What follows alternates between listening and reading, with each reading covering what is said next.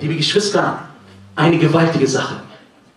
Wenn der Blick starr wird, فإذا برق البصر وخسف القمر und der Mond sich verdunkelt.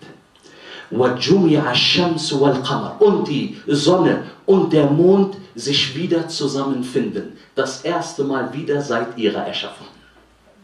Das erste Mal wieder seit ihrer Erschaffung. Denn als, als Allah Azzawajal sie erschaffen hat, waren sie zusammen. Dann sind sie auseinandergegangen. Und Allah bestimmt, was er will. Subhanahu wa ta'ala. Am Tage der Auferstehung wird Allah Azzawajal sie zusammenführen und er wird ihre Lichter hinwegnehmen. So dass es absolut dunkel sein wird. Yaqulul Insan, dann wird der Mensch fragen, Aina al-Mafar? Wohin kann ich flüchten?